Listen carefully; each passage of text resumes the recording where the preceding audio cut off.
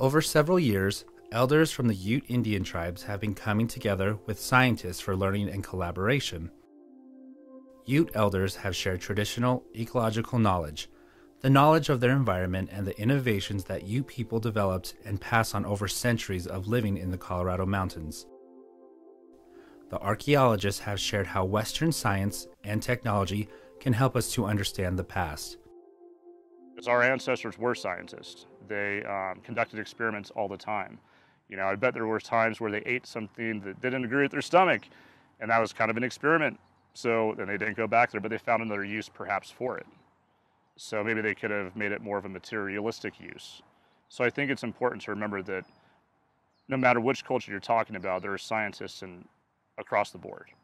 It's not just central to the, the Europeans or the Greeks.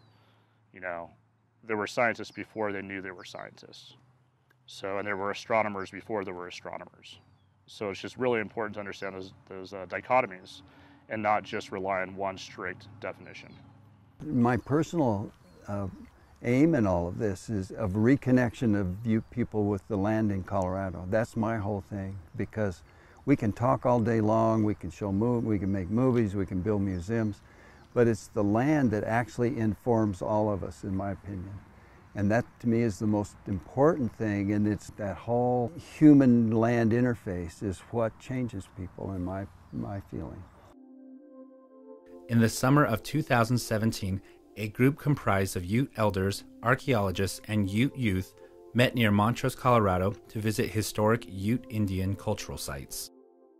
I'm I'm native and I want to learn how they um, how they lived here, why they stay here, did they stay there for a long time? It's cool to see how technology works with uh, with all these old uh, artifacts and uh, what they can do with them and with technology and uh, and hopefully that we can explore more with technology. Well, to me, I think it's a really good opportunity for our, our children to carry this on. And at least, you know, they would go back and tell the parents, not only the parents, but their friends that they hang out with, you know, and, uh, and tell them, hey, you know what, there's this place up there that they've seen, and hardly none of our kids will really get to see it.